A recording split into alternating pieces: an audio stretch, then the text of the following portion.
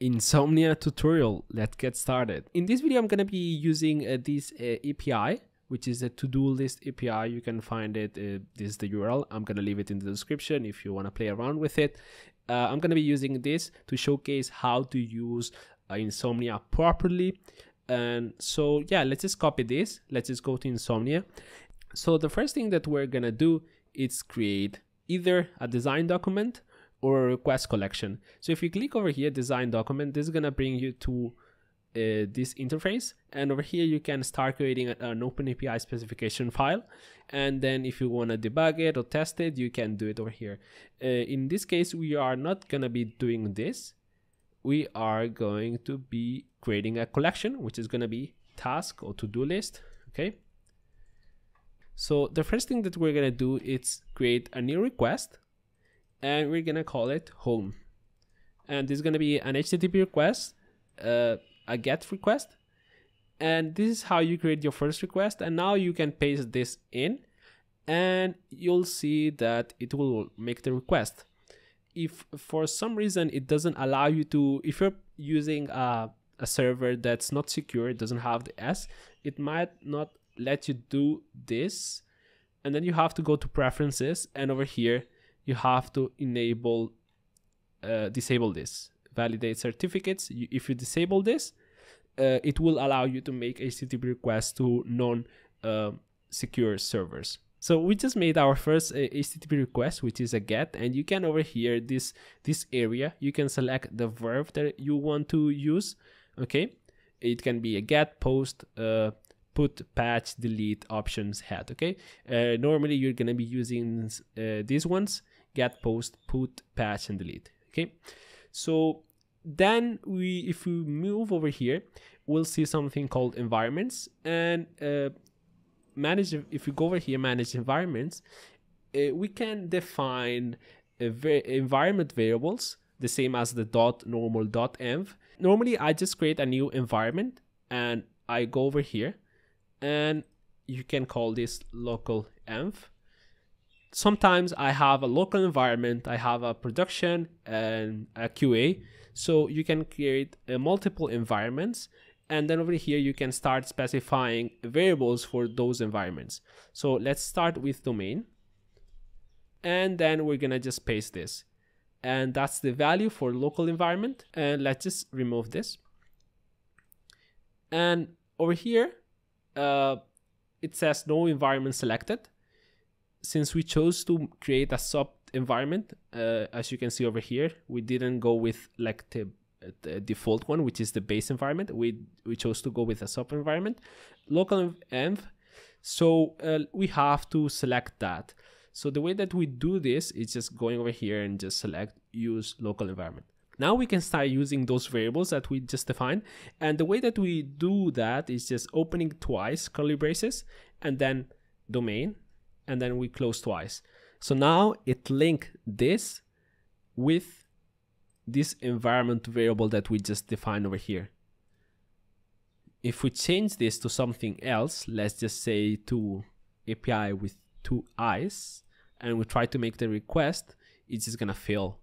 And as you can see, it's working, it's just, uh, it's being synced. So now let's just go back, let's just, and let's just leave it as it is a good way to organize your uh, calls it's by creating a folder. So in this case, we're gonna be creating a user. So let's just call it user. And inside user, we're gonna create register user. And over here, we're gonna grab the domain variable and then user and then register. And if we try to make a post request, is gonna say, okay, there's some stuff that's missing. That's where this body tab is gonna come handy.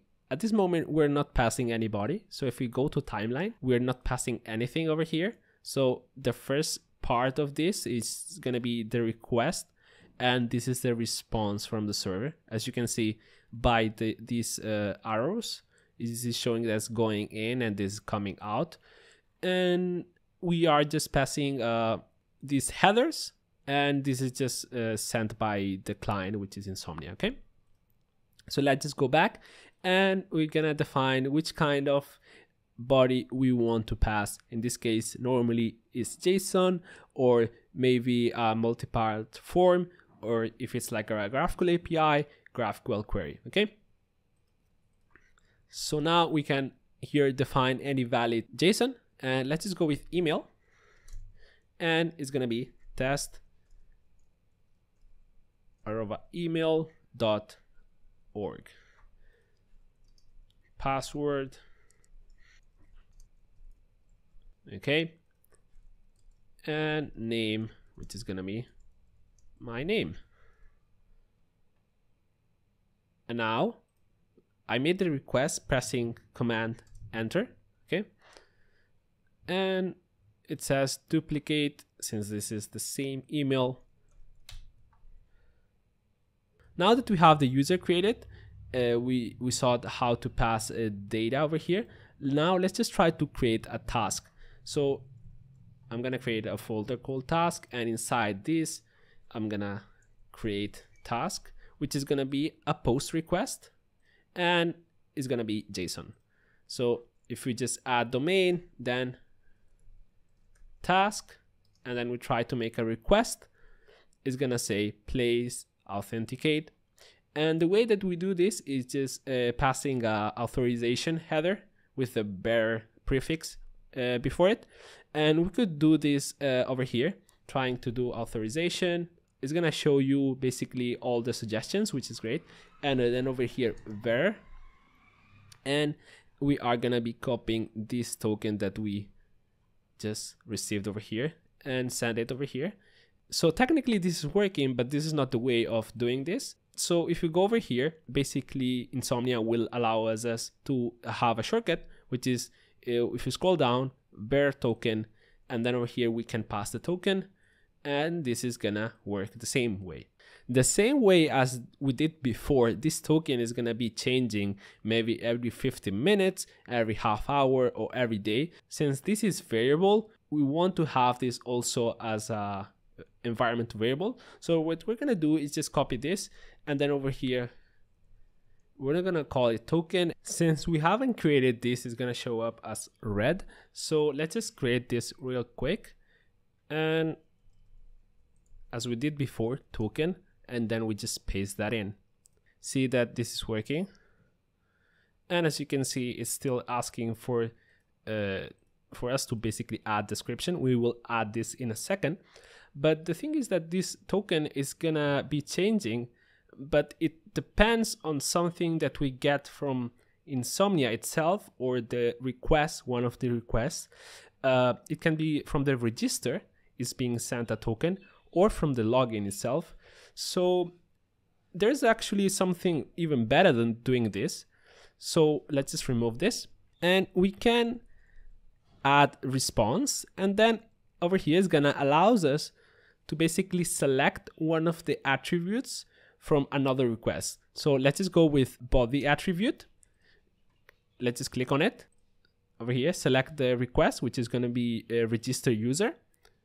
And then uh, doing this dollar sign dot, and then we can start uh, basically selecting anything that's inside over here.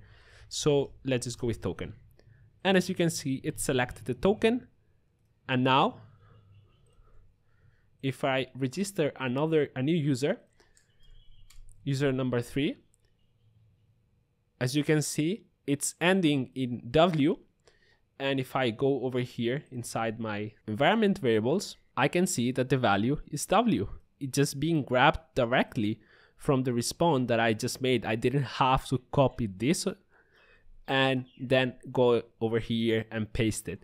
It doesn't seem like much, but if you are in your workflow, doing just these small things will basically allow you to save a bunch of time over days. Let's go over here, add description and this that's going to be the description. And now it just created a new to do. Now let's just try to update this to do by completing it. And what we can do is just duplicate this and update to do and that's going to be a put and over here task. And then we have to specify the task id and we can grab this like this and then paste this over here and now let's just try to run this. So as you can see it's working. But the thing is that this id is also going to be changing. So as you might expect this is also going to be a variable. So let's just open twice and it's going to be called task id now let's just go to our environment variables. I'm doing this with command e or control e depending if you're using mac or windows. Uh, so now let's just create the task id and task ID is gonna be pretty similar to the one to token. It's gonna depend to raw, uh, not body, attribute, and then we're gonna select create task, and then over here is gonna be data dot ID. As you can see, it's just being grabbed. If this is not your workflow where you don't want this task ID to be set every single time that you create a new task, just remove this and have it like this. It just depends on your workflow. Mine, normally, this is what I do when I create a new task, and maybe next time I want to do something, I want to update the same task. I just want it to be grabbed automatically. I don't want it to be copied. But if your workflow is more complex than this, and maybe this is not the best tool for that. So uh, if you are not going to be using this, just remove it and copy paste it and that's going to be uh, be working the same way. Now that we have this uh, if you go over here timeline we can see that it's making an http request to task and then this id is coming from the environment variable.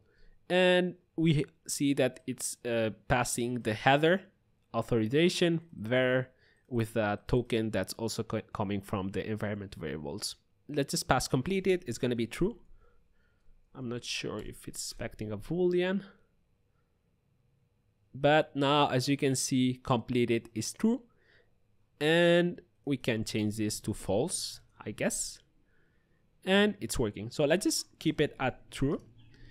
And now let's just create an another task uh, and another one called uh, desk 2. Okay.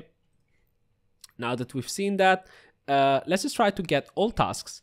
So let's just copy this and it's gonna get all tasks. And get all tasks is gonna be uh, get. I'm gonna be removing the body since it's a get request. I don't need the body to be sent. And if I call this, it's gonna return everything. And uh, keep in mind that this is working because I'm passing the token. Uh, since I du duplicated uh, the other request, is gonna also have this token as you can see over here, is sending author authorization uh, with, with that token. So now let's just try to see query. So with a query uh, is gonna basically append uh, query parameters to our request. And as you can see, it's pretty simple, pretty straightforward. The UI super clean. I just love uh, how Insomnia works. So uh, this uh, API accepts a complete parameter, a query parameter, and over here, completed true. So if we do this, as you can see, it just filtered it out and it's gonna be append at the end of our HTTP request, task completed and true. And we can enable, disable this. Of course, this true false can be a, a variable. Every single place where you can define a, an input, it can also grab a variable. So this could be also a variable. So every single input is gonna be, you can add an environment variable there. So let's just go it through, okay? And now it's filtering these values. A header, as I showed before, uh, the only thing that you could do, as I did before, is just disable this. And if you wanted to, for some reason, send this header in the, inside the header tag, which I don't recommend if it's related to auth, it should go uh, to inside this tab. And then over here you could do var token. And then you close and this is gonna work the same way. Uh, so let's just remove this enable this and talking about headers there's also this tab uh, where you can basically see everything that's uh, being returned from the headers of the response. But if you go inside timeline you could see the headers this over here I don't really use this tab. I use this more often than not because I want to see what's being uh, what's being sent and what's being returned. There's another interesting thing about Insomnia is that it allows you to also see all the requests that you made. So I could go back to this one and this is super easy and great. It has saved me a lot of time a bunch of times. So this section of the tab, it's uh, you can see the HTTP response, the number, if we, if it's like a 200, the amount of time it took, and then the size of it. And then another thing over here, as you saw before, you can use something called JSON path. Uh, they've got here a, a very small explanation of it. So over here, we can also filter the response uh, if let's say that I want to see only the description from all the tasks that are being returned, I could do that. And the way that I could do that is just doing this uh, dollar sign dot data. Then we're gonna specify any index and then also description. And now I can see the description of all the items of all the tasks that uh, they just returned. Also, I can see the ID if I wanted to, or completed if that's what I was interested in. So let's just try to upload an image and the way that we're going to do that it's by uploading the user avatar. So uh, update user is going to be basically a post request is going to have the endpoint of domain user me which is basically the one that's defined in this API. And then it's gonna have to be a multi-form, uh, multiple, multi-part form. And the key is gonna be avatar. And then the value is gonna be file. Then we define this, uh, we upload this. We make sure that we have our token, which we don't. Let's just specify it real quick we have token uh, and it needs to be a put that's since we are updating it needs to be a put so let's send this and that's how you upload an image. Lastly something that you might use or you might not it's uh, the docs. So if you want to uh, basically explain a little bit what each request is doing you can click over here and start typing okay and this docs is gonna allow you or other team members uh, basically explain what this request should be doing. Lastly, cookies. Uh, if you want to def define any cookies, you do it over here. Cookies, you add a cookie, as you can see, pretty simple. You define all data, or if you have the raw text, you can paste that in and it's just gonna automatically fill this. You can define if it's gonna be a secure or HTTP only. And then if you click over here, you can log in to sync some stuff with uh, Kong, or you can upgrade your plan to Plus if you decide to pay uh, to have like the, the monthly subscription ship to have everything synced between devices. But um, I've been using Insomnia for more than three years. I just love it. So those are the basics of Insomnia. If you want to have the same theme that I have, which I know that people will ask, it's this one, one dark. Over here, themes. You can select any of the themes that you you would like, and this is great. Uh, I just really like how Insomnia looks. The UI is super cool, and I think that it's, in my opinion, uh, a better choice than something like Postman. I think Postman is super bloated. It's got so much stuff that it just gets in the way of doing things, and Insomnia, it's super simple yeah, that was it. Make sure to like, subscribe. You know what to do. I mean, at this point is, yeah, subscribe if you want to see more content like this or more tutorials. Let me know what you want me to do in the next one and see you. Bye.